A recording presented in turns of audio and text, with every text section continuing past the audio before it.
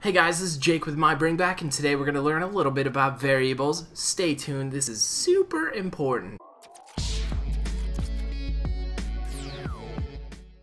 Hey guys, so mosey on over to jsbin.com. That's where we'll be using and coding in this online interface.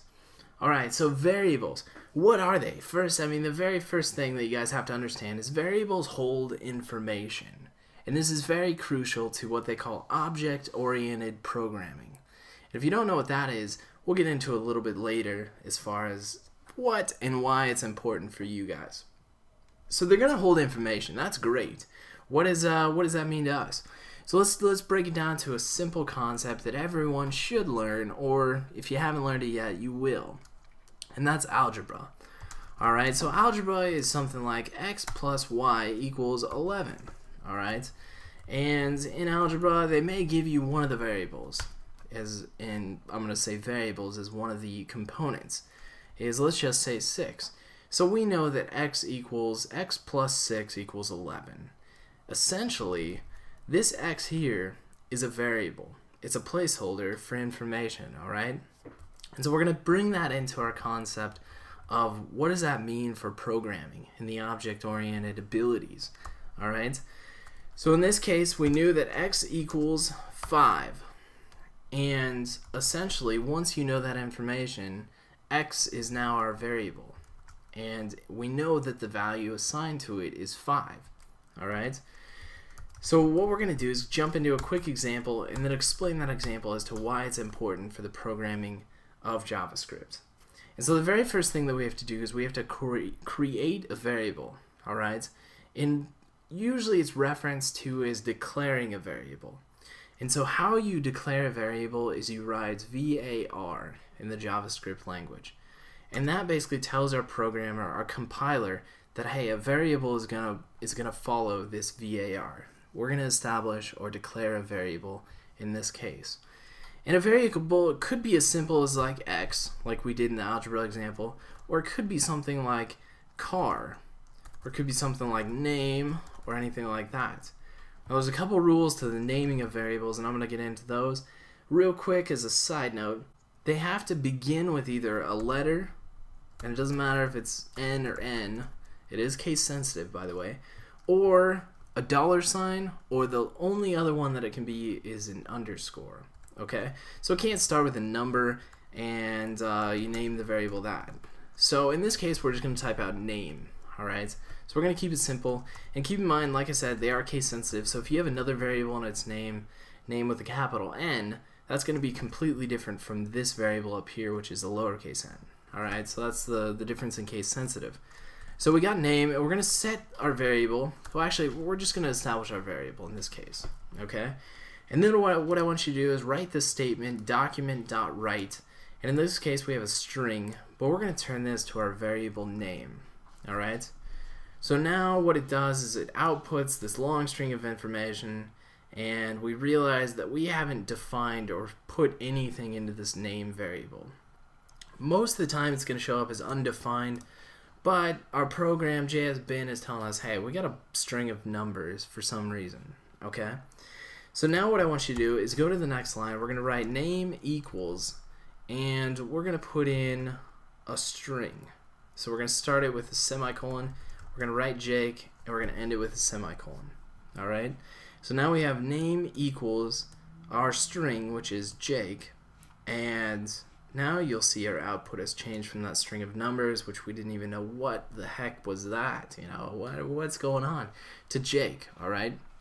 So now we have our variable here is declared, and then we're assigning a value to it. In this case, it's Jake, my name, and we're going and we're writing it to the screen. Okay, so now our output is now Jake. Now you notice that we never had to change our document.write. We never had to change what was going to output to the screen because we basically changed the variable and the variable was already associated to the document.write.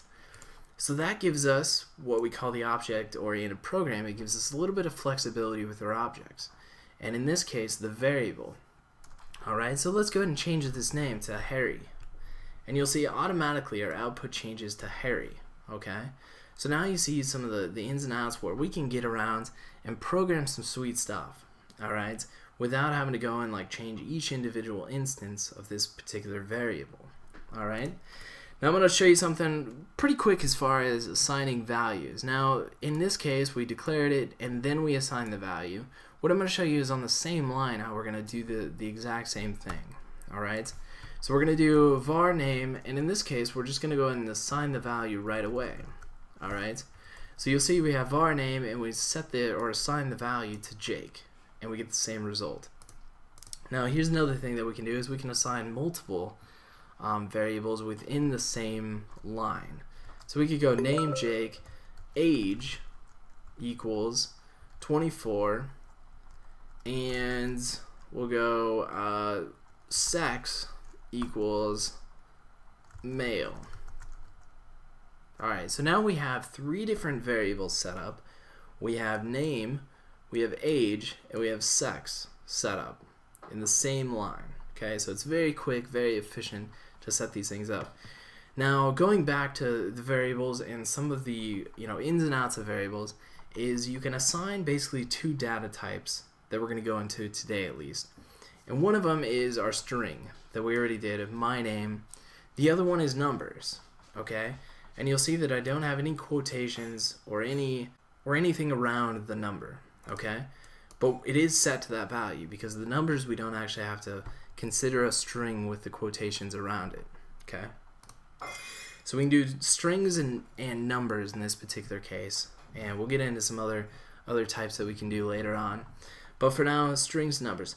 So we've got three different variables set up, and right now we're displaying our name variable. So let's go ahead and copy and paste this, and I'll just show you for the sake of showing you. We'll change this and display our age as well. Okay, so now we should have, yeah, Jake, and it's going to display my age as well. Alright, so we can reverse engineer this, and we can take this all out, like I was saying. And we can take this and basically duplicate it, have multiple lines, go var name equals, and in this case, we're just going to change this to the variable name age, and we'll take out the string, and we'll put in the number again for 24. Alright, so the same thing can be done in multiple ways. It just depends on, you know, where you're doing it and how you're doing it. And uh, moving forward with that. Alright, so the very last thing that I'm going to show you is how we can use these variables on a very small scale. So we're going to take our variables x, you know, similar to the uh, algebra equation that we had earlier. We're also going to declare and assign the value of y, and we'll just say 5 for this case. And then what we're going to do is we're going to establish another variable called sum, and we're going to set that equal to x plus y. So what we're going to do is basically simple math, and we're going to use the variables as placeholders to hold information and calculate those, all right? Because if we change the variables or we change the values assigned to the variables, we don't want to go into every equation to change that, all right? So we're going to go ahead and get rid of this because we don't really care about name and age at this point. But what we're going to do is display the sum variable. Okay, so essentially our sum is taking x plus y, so x plus y, 2 plus 4 is 6, and it displays it on the screen. Alright, so we can do that with the divide, we can do that with multiply, all those things, but it just goes to show you how you can hold data within a variable and update it in different ways, so you don't have to go through a page and, and uh, go into it. Hey guys, a very simple but mind-blowing exercise with variables within JavaScript. Look forward to seeing you guys next week.